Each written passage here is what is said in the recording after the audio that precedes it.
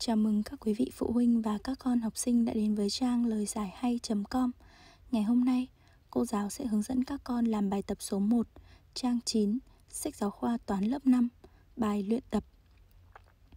Bài tập 1 yêu cầu các con viết các phân số thập phân thích hợp vào chỗ chấm dưới mỗi vạch của tia số. Cô giáo đã ghi lại tia số giống như trong sách giáo khoa. Các con hãy cùng cô quan sát tia số nhé. Tia số có điểm bắt đầu là 0 và điểm kết thúc là 1. Ở giữa có phân số 1 phần 10, 2 phần 10 và 7 vạch trống khác để chúng ta ghi các phân số thích hợp. Ta thấy 1 phần 10, 2 phần 10 là chiều tăng dần của tia số. Vì vậy, vạch tiếp theo cô sẽ ghi phân số 3 phần 10.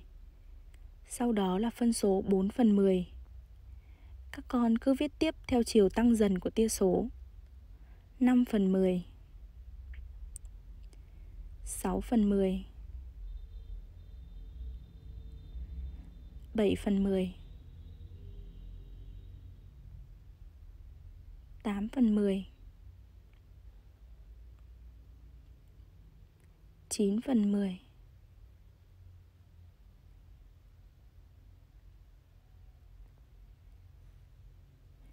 Như vậy, cô đã điền xong các phân số thập phân tích hợp vào chỗ chấm dưới mỗi vạch của tia số.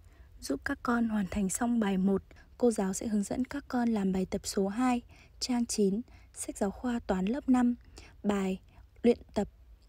Bài 2 yêu cầu các con viết các phân số sau thành phân số thập phân.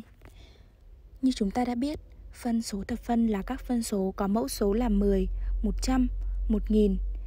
Để các phân số thành các phân số thập phân, chúng ta cần quy đồng mẫu số các phân số dưới, sao cho mẫu số của các phân số này thành 10, 100 và 1000. Các con hãy cùng cô làm với phân số đầu tiên 11 phần 2 Ta thấy 2 x 5 sẽ bằng 10 Vì vậy ta lấy cả tử và mẫu nhân với 5 Ta có 11 phần 5 trên 2 x 5 11 x 5 bằng 55 Viết 55 Ta được phân số 55 phần 10 55 phần 10 là một phân số thập phân. Tiếp tục với phân số 15 phần 4. Ta thấy 4 nhân 25 sẽ bằng 100. Vì vậy ta lấy cả tử và mẫu nhân với 25. Ta có 15 nhân 25 trên 4 nhân 25.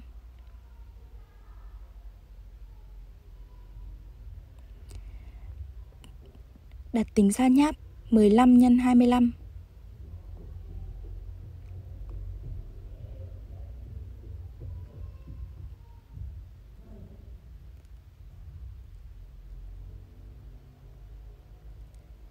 5 x 5 bằng 5 vết 5 nhớ 2 5 x 1 bằng 5 thêm 2 là 7 2 x 5 bằng 10 vết 0 nhớ 1 2 x 1 bằng 2 thêm 1 là 3 Ta có 15 x 25 bằng 375 Vậy tử số của phân số mới sẽ là 375 4 x 25 chúng ta có thể dễ dàng tính được bằng 100 375 phần 100 là một phân số thập phân. Phân số cuối cùng, cô lấy cả tử số và mẫu số nhân với 2, bởi vì 5 nhân 2 sẽ bằng 10. Tử số cô có 31 nhân 2 trên 5 nhân 2 bằng 2 nhân 1 bằng 2. 2 nhân 3 bằng 6. Như vậy tử số bằng 62 và mẫu số bằng 10. 62 phần 10 là một phân số thập phân. Như vậy, cô đã vừa cùng các con làm xong bài tập số 2. Cô giáo sẽ hướng dẫn các con làm bài tập số 3, trang 9, sách giáo khoa toán lớp 5, bài luyện tập. Bài tập 3 yêu cầu các con viết các phân số thành các phân số thập phân có mẫu số là 100. Để làm bài tập này, các con nhân cả tử và mẫu số của phân số đã cho hoặc chia cả tử và mẫu số của phân số đã cho với một số thích hợp, sao cho mẫu số của phân số mới là 100. Chúng ta cùng đi vào phân số đầu tiên. Quan sát phân số này, cô thấy 25 nhân với 4 sẽ bằng 100. Vì vậy, cô nhân cả tử và mẫu cho 4. 25 nhân 4 bằng Tử số 6 nhân 4 bằng 24 Và mẫu số ở đây là 100 Cô được phân số thập phân 24 phần 100 Phân số tiếp theo, Cô chia cả tử số và mẫu số cho 10 Bởi vì 1000 chia 10 bằng 100 Cô có tử số là 500 chia 10 và mẫu số là 1000 chia 10. Chúng ta được phân số mới là 50 phần 100. Phân số cuối cùng, cô thấy mẫu số chia cho 2 sẽ bằng 100. Vì vậy, cô lấy 18 chia cho 2 trên 200 chia cho 2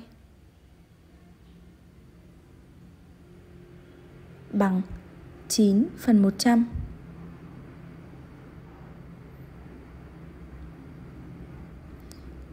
Như vậy, cô đã vừa cùng với các con làm xong bài tập 3. Cô giáo sẽ hướng dẫn các con làm bài tập số 4, trang 9, sách giáo khoa toán lớp 5. Bài luyện tập Bài tập 4 yêu cầu các con điền dấu lớn hơn, bé hơn hoặc bằng. Quan sát đề bài, chúng ta thấy các phân số mà đề bài cho đều là các phân số thập phân.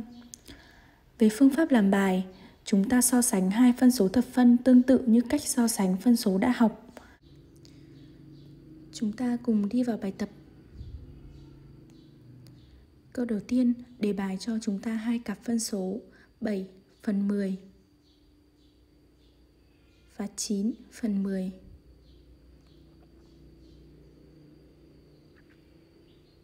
Các con quan sát đề bài có thể thấy đây là hai phân số thập phân có mẫu số là 10 và tự số lần lượt là 7 và 9.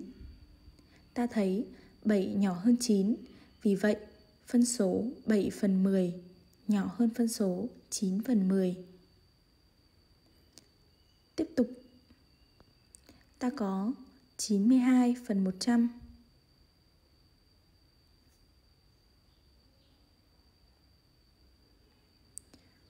và phân số 87 phần 100.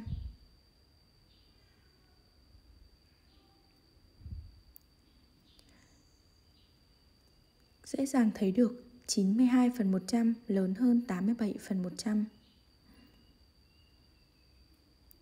Ta có 5 phần 10 và 500 phần 100. Ta thấy đây là hai phân số mẫu số chưa bằng nhau.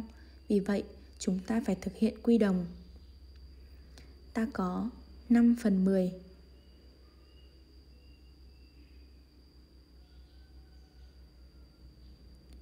bằng Cô lấy mẫu số chung là 100 nên cô sẽ nhân cả tự số và mẫu số cho 10. 5 x 10 trên 10 x 10. Quy đồng phân số 5 phần 10 với mẫu số là 100, cô được phân số 50 phần 100. Như vậy, 5 phần 10 bằng với 50 phần 100.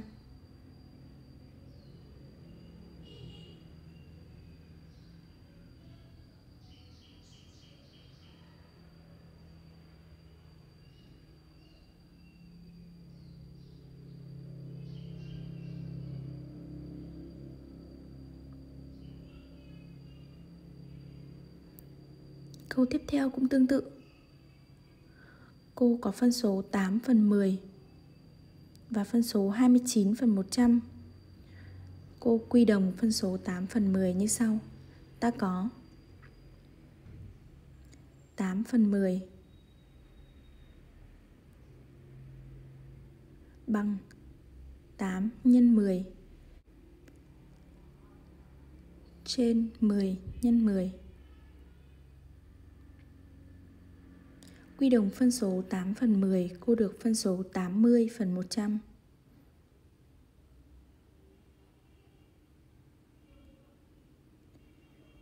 Như vậy, ta thấy hai phân số đã cùng mẫu số, tử số 80 lớn hơn tử số 29.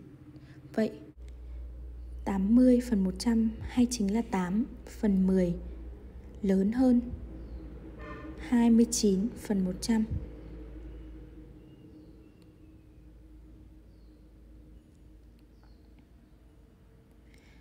Như vậy, cô đã vừa cùng với các con làm xong bài tập số 4. Cô giáo sẽ hướng dẫn các con làm bài tập số 5, trang 9, sách giáo khoa toán lớp 5. Bài tập 5 như sau.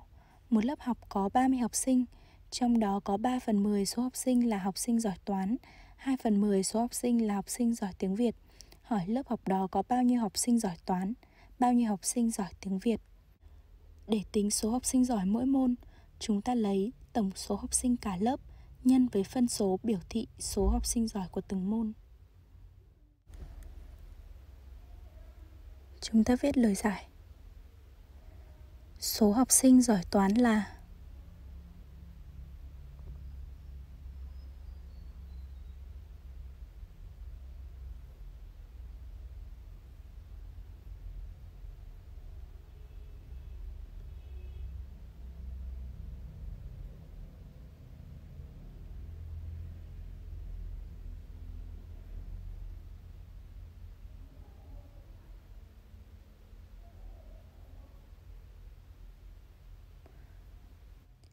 Các con lấy tổng số học sinh của cả lớp là 30 nhân với phân số 3 phần 10 biểu thị số học sinh giỏi toán. Ta có phép tính 30 nhân 3 phần 10.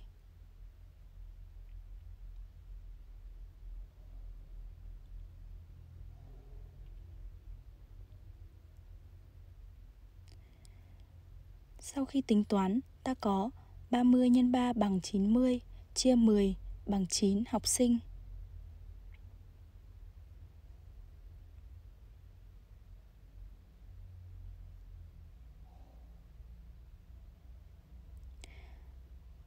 Số học sinh giỏi tiếng Việt là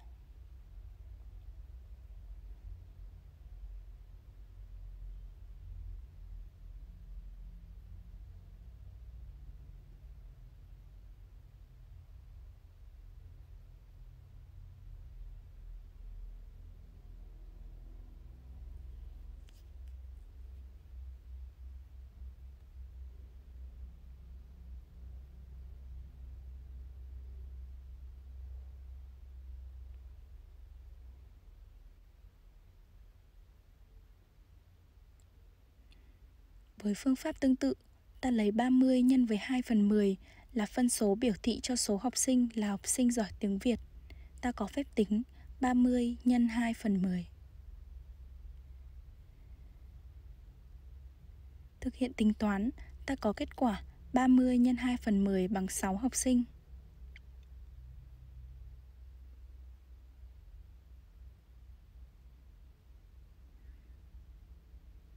Như vậy, Lớp đó có 9 học sinh giỏi toán và 6 học sinh giỏi tiếng Việt. Các con viết đáp số.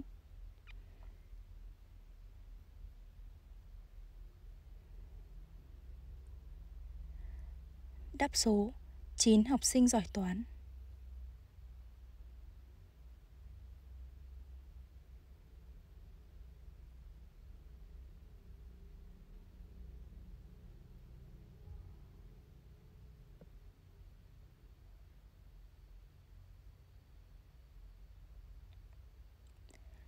6 học sinh giỏi tiếng Việt.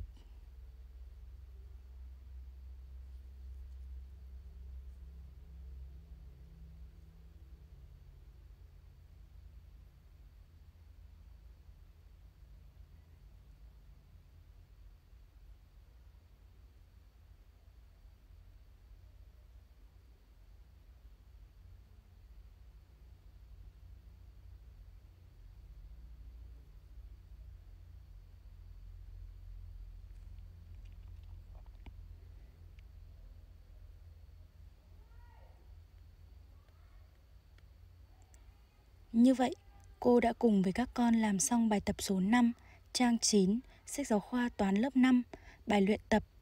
Để xem thêm nhiều lời giải của các bài tập khác, các con hãy truy cập trang web lời giải hay.com. Cô chúc các con học tốt.